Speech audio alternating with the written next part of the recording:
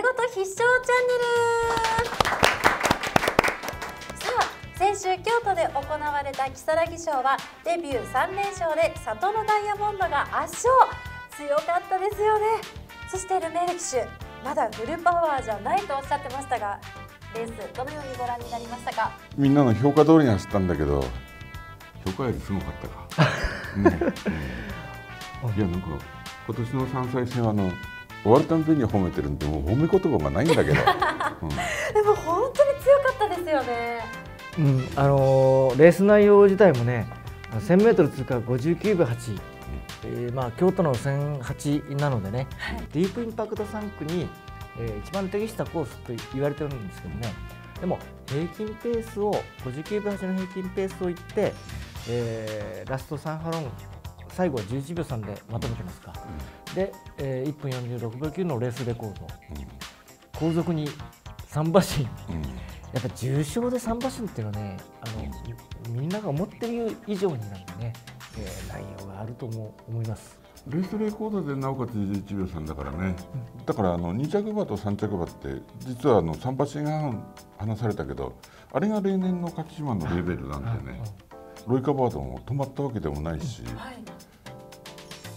相手が悪かったっていうだけで、まあだから普通に考えればそのダイヤモンド、このまま順調にいってほしいよね。ね。もうあの 3, 3着までディープディープディープでしょ。えー、で、えー、その中で普通の例年だったら2着3着の馬たちが、えー、京都1008の木更津賞を勝つタイプではないかって言われたんだけど、その3馬身先に、えー、一つ里のダイヤモンドがいたので、ルメール騎士とかデムル騎士が最初から言ってたのは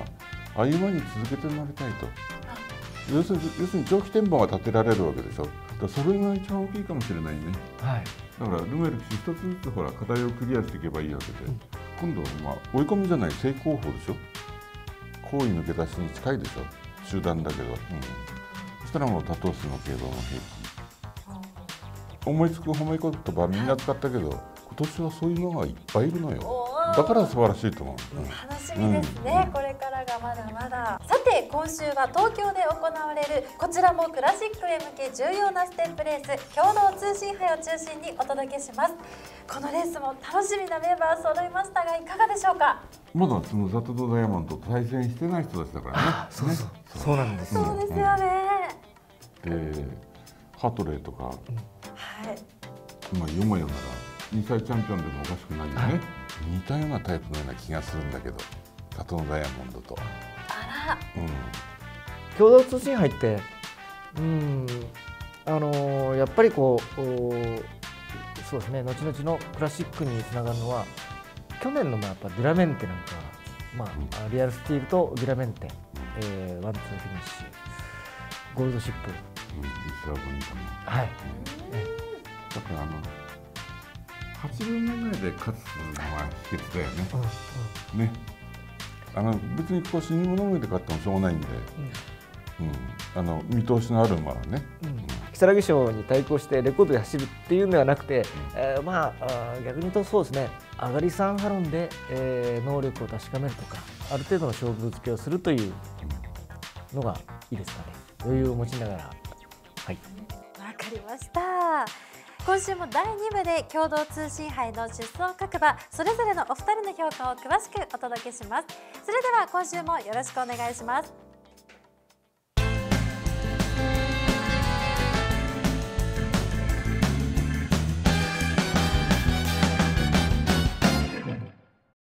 共同通信杯をポイントで解説重賞のツボです。お二人に展開コースタイム機種血統スペシャルの6つのツボから1つを選んでいただきます。ではまず柏木さんのツボどこになりますか？一番難しいんだけど血,、はい、血統血統、うん、はい。もう年が明けてディープインパクト3区素晴らしいですね。あの去年はあの珍しくあの2歳の後半の G1 とかホップフルに出走馬がいなくて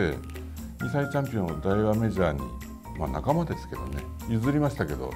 年が明けたらもう一気にスパートして世代リーディングってあるんですよこの世代の、はい、もうぶっちぎりのトップなんで。あそうなんですか。だから要するに今年の年が明けるまで待ってたなっていう。2歳戦はいいよあんたたちに任せるけど年が明けてクラシック路線になったら僕だよというもう全くその通りでねこのダイヤモンドとか今週出てくるハートレイとか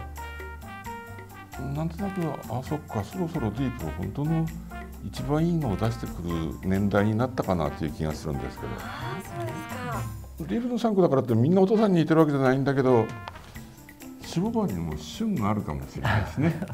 やっぱりお母さんうんを調べるきちんとね、把握してやっぱあのお父さんが同じディープインパクトだったらもう違いはどっかと言ったら将来性とかね。そういうのはやっぱお母さんを研究しないと。その差がこううーんクラシックえー、G3 から G2G1 なんとなると距離その他も含めて、えー、コバとなってもそういうのが出るのかもしれないですね。はいわかりました。では続いて丹下さんのツボはといきたいところですが第1部お時間が来てしまいました。続きは第2部でお伺いします。もちろんお二人の共同通信杯出走全場の評価もお伺いしていきます。お見逃しなく。